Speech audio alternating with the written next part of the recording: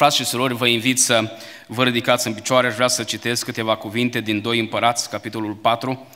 Un cuvânt pe care Dumnezeu l-a pus pe inimă fratelui Petru. Eh, probabil vă întrebați, bine, dacă l-a pus pe inimă fratelui Petru, de ce predici tu?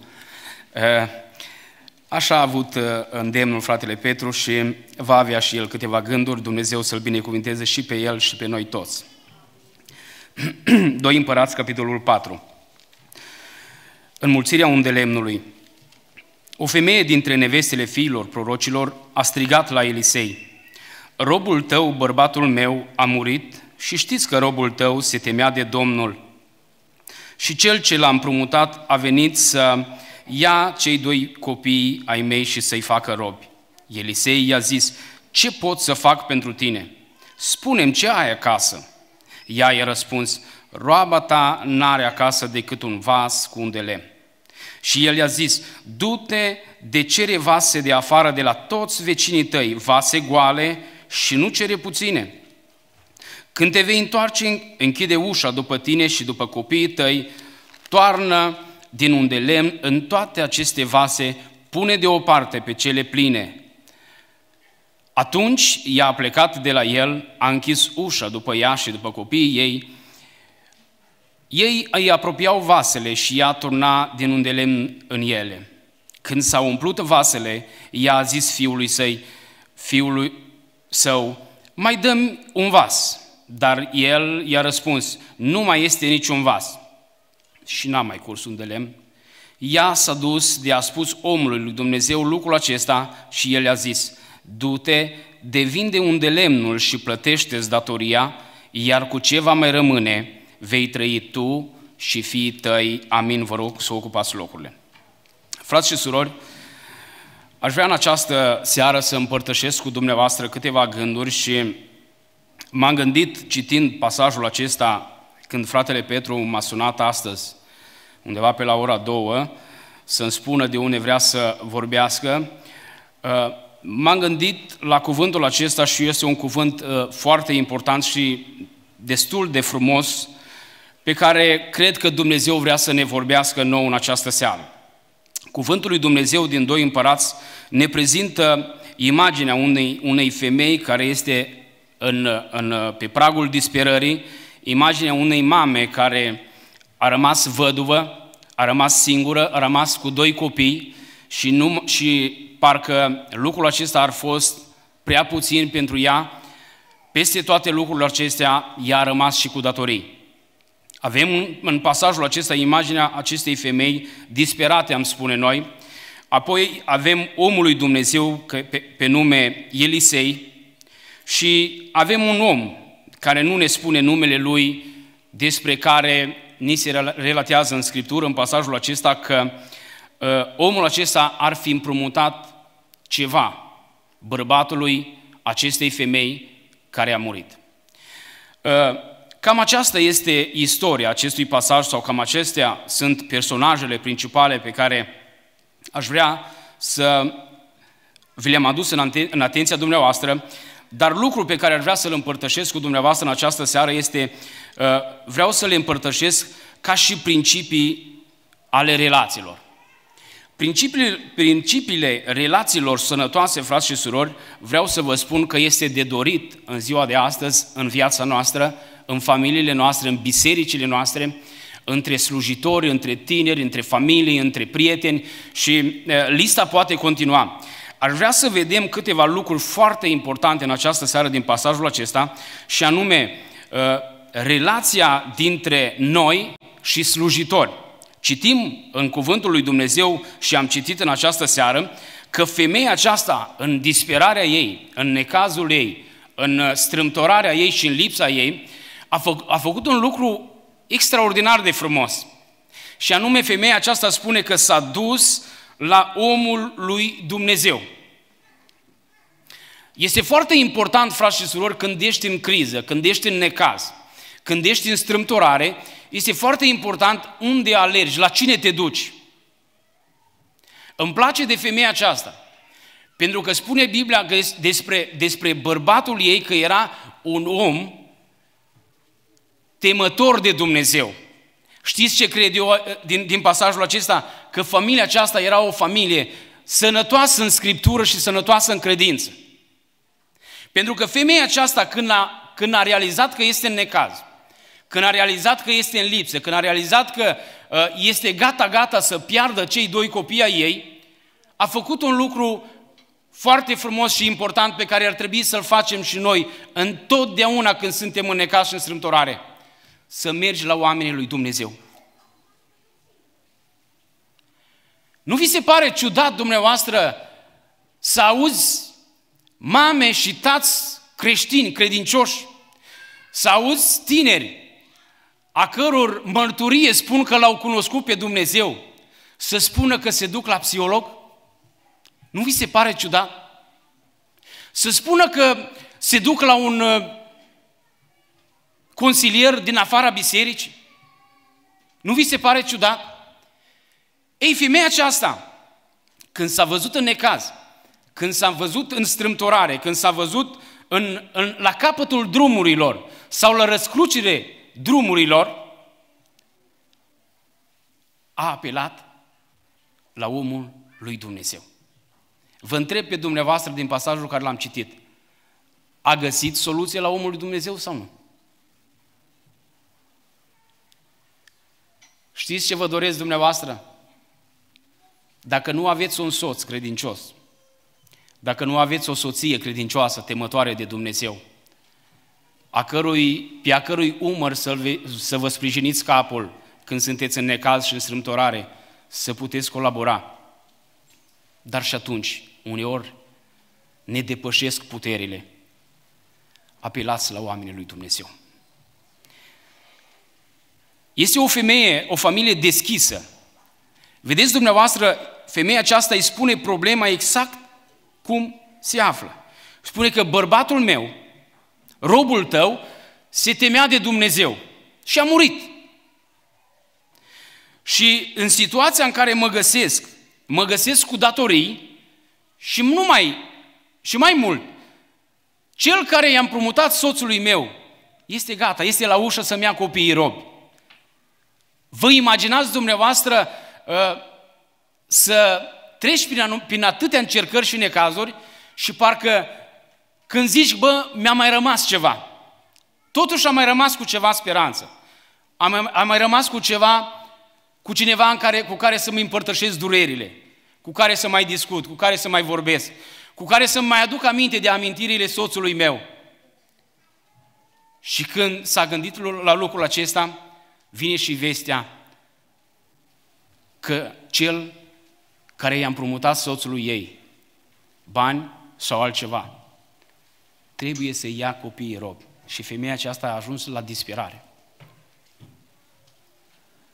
Îmi place atât de mult de femeia aceasta pentru că i-a pus lucrurile omului lui Dumnezeu exact așa cum sunt ele. A rămas văduvă, sunt cu datorii și sunt gata, gata să pierd și copiii de prea multe ori sau de cele mai multe ori când suntem în necaz, când suntem în strâmtorare, știți cum, cum, cum procedăm noi? Mergem la oamenii lui Dumnezeu, la, la vasă de lucru și am vrea să căpătăm un răspuns. Eu nu zic că nu-i bine, dar parcă câteodată ar trebui să, ne, să spunem situația prin care, prin care trecem. De multe ori mergem la, la omul lui Dumnezeu și spunem, mă, dacă este omul Domnului, dacă este robul lui Dumnezeu, să-mi spună prin problema prin care trec. Și Dumnezeu în bunătatea Lui o face. Dar vreau să vă aduc aminte din pasajul acesta că Elisei era un om al lui Dumnezeu.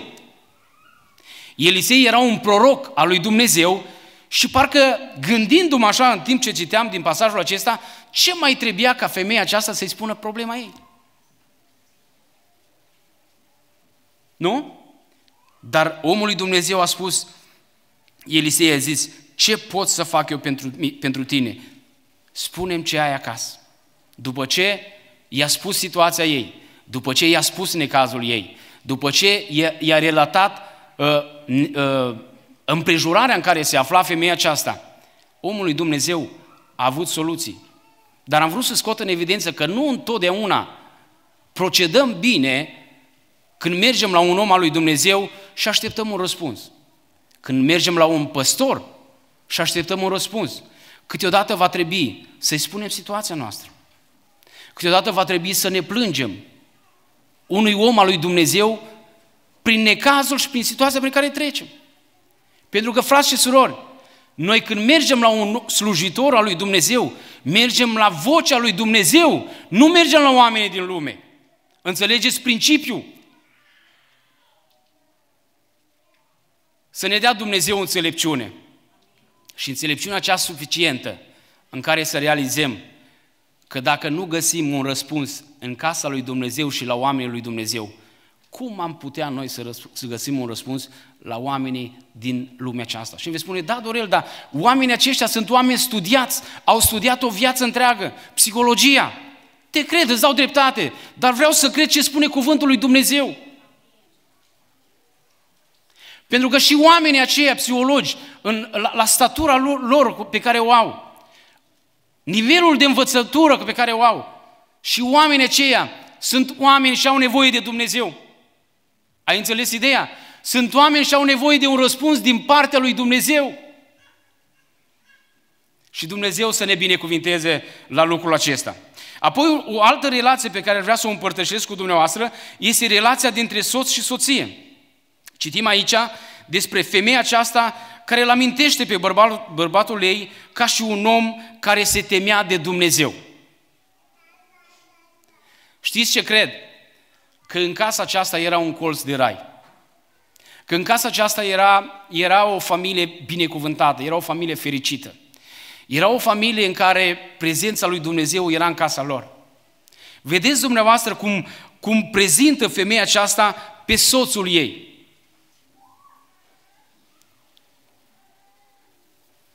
Îi spune, bărbatul meu știi că se temea de Dumnezeu. Cu alte cuvinte, bărbatul meu era un om al lui Dumnezeu. Era un om credincios.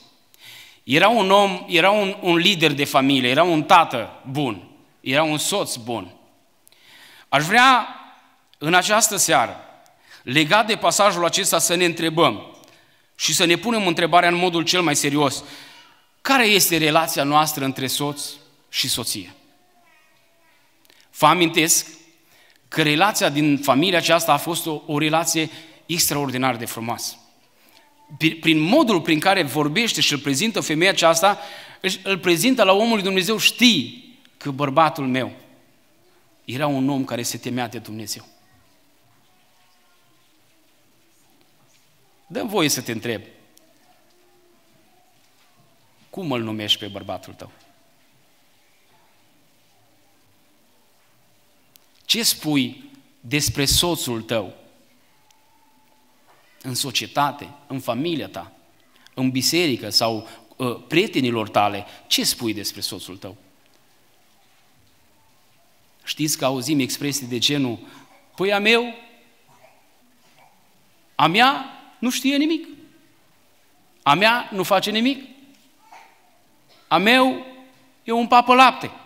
Frați mei, am auzit vocea aceasta de la... Mi-e greu să spun că copiii lui Dumnezeu. Aș vrea să te întrebi în modul cel mai serios în seara aceasta, care este relația ta cu soția ta? Și care este relația ta cu soțul tău? Este o relație frumoasă? Este o relație în care uh, Ai întotdeauna cuvinte de mulțumire la adresa lui Dumnezeu pentru el? Ai întotdeauna cuvinte de mulțumire la adresa lui Dumnezeu pentru ea? Dacă ar fi să te întrebe cineva, sau dacă ar fi, pentru că viața noastră este trecătoare, frați și surori, mai devreme sau mai târziu plecăm din lumea aceasta. Ori plecăm noi ca și soți, ori pleacă surorile. Oricum, Biblia vorbește cel mai mult despre văduve. Așa că, fraților, ă, ar trebui să ne punem întrebarea ce lăsăm în urmă. Ce spune? Ce se va spune în urma noastră? Ce spune soția noastră despre noi? Un alt lucru. Ce va spune copiii noștri despre noi?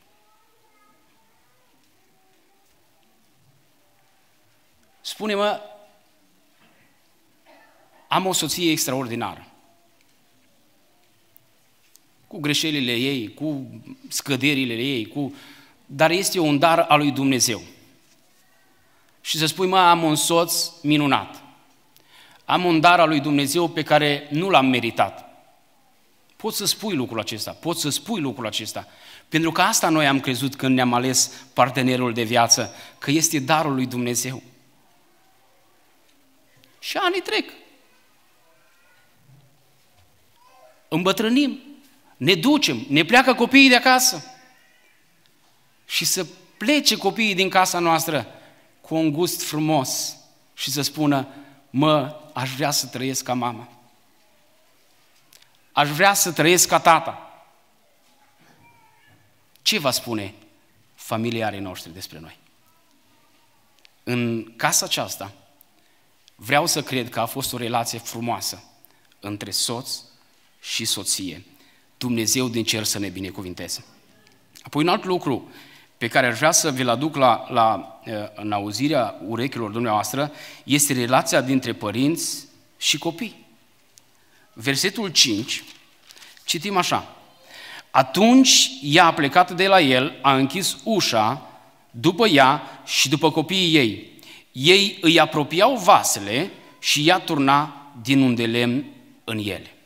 Frați și surori, când am citit versetul acesta, m-am dus imediat cu gândul la o familie extraordinar de frumoasă. O familie în care se ajuta una pe, unul pe altul. O familie în care era prezent în casă. Citim în versetul 5 că mama aceasta turna din vasul acesta un de lemn și copiii luau pe ăla plin și îl aducea pe ăla gol. Luau pe ăla plin și îl aduceau pe ăla gol. Știți ce înseamnă asta? Să fii martor la minunile lui Dumnezeu. O familie în care împreună cu copiii să vadă minunile lui Dumnezeu în casele lor. Extraordinar de frumos. Probabil se întrebau, mamă, dar ce se întâmplă că aici avem un vas de un de lemn și avem o sumedenie de vas în, mijloc, în jurul nostru? Și tot pui, noi tot luăm ale goale și tot, le, tot le, le dăm pe ale pline. Ce se întâmplă aici? Este o minune dumnezeiască. Să ne dea Dumnezeu harul să avem în mijlocul casei noastre minunile lui Dumnezeu, a călor ochi al copiilor noștri să le vadă. Frați și surori, să plece copiii din casele noastre și să spună, mi-aduc aminte când eram bonlav sau eram bonlavă. Mi-aduc aminte când mama mea era în necaz și în strâmtorare. Mi-aduc aminte când tatăl meu era pe pat de moarte. Și mi-aduc aminte că au făcut rugăciuni în casele noastre și am văzut mâna lui Dumnezeu în casele noastre. Frații mei, copiii noștri este foarte important să vadă minunile lui Dumnezeu în casele noastre. Și eu zic, Doamne, binecuvintează-ne și ajută-ne. Astea sunt lucruri care va rămâne în mintea copiilor noștri. O relație frumoasă în casă. O armonie plăcută în casă. Minunile lui Dumnezeu în casele noastre. Vreau să vă spun că sunt lucruri pe care le își vor aduce aminte peste viacuri. Și noi nu ne gândim. Vreau să spun,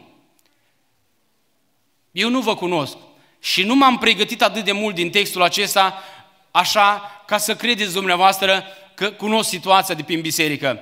Vreau să spun liber, vreau să spun liber, Dumnezeu din cer ne va judeca de felul cum ne-am comportat în casele noastre. Pentru că vreau să vă spun, s-ar putea băiatul nostru sau fata noastră să fi plecat din casele noastre pentru că am fost o pricină de poticnire.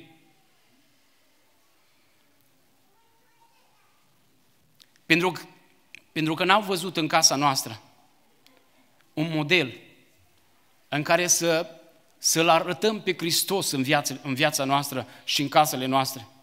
Eu nu zic că întotdeauna se întâmplă când cineva pleacă, când un fiu risipitor își ia parte de avere și pleacă. Nu zic că întotdeauna se întâmplă, dar vreau să vă spun că lucrurile acestea poate influența viața copiilor noștri. Și știți ce spun? Doamne, dă-ne înțelepciune să ne purtăm cu înțelepciune față de cei din casa noastră. Frați și surori, viața este scurtă. Viața este scurtă și nu se merită să trăim cu dușmănie în familiile noastre. Familia noastră ar trebui să fie, așa cum spuneam, din pasajul acesta, o familie în care să fie raiul lui Dumnezeu. Când ești la muncă, să-ți dorești să vii acasă. Când ești plecat undeva, de-abia să aștepți să te întorci acasă, să-ți vezi soția, să-ți vezi copiii. Și bunul Dumnezeu din cer să ne binecuvinteze. Dar la, la lucrul acesta, frați și surori, trebuie să lucrăm. Ea nu vine așa din, din, din nimic. Fiecare partener de viață, fiecare soț și soție trebuie să-și facă partea ei. Trebuie să ne facem partea noastră ca să, ca să aducem raiul lui Dumnezeu în casele noastre.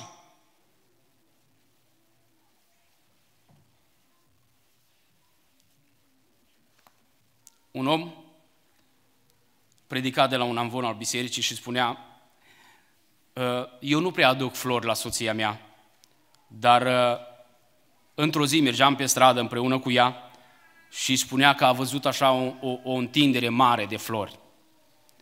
Și a oprit mașina și a zis soției, te rog, coboară jos și ia-ți o floare. Ă, dacă ar fi fost să mi se întâmple așa ceva, mie parcă mi-ar fi fost greu să mai spun la amvonul unei biserici o astfel de, de relatare. Frați și surori, Dumnezeu ne cheamă să, să lucrăm la relațiile din casele noastre.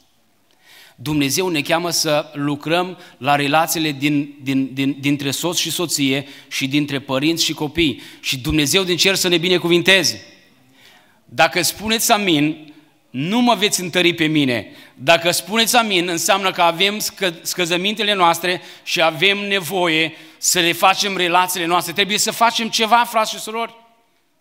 Trebuie să ne facem partea noastră ca să vedem pacea și bucuria lui Dumnezeu în casele noastre.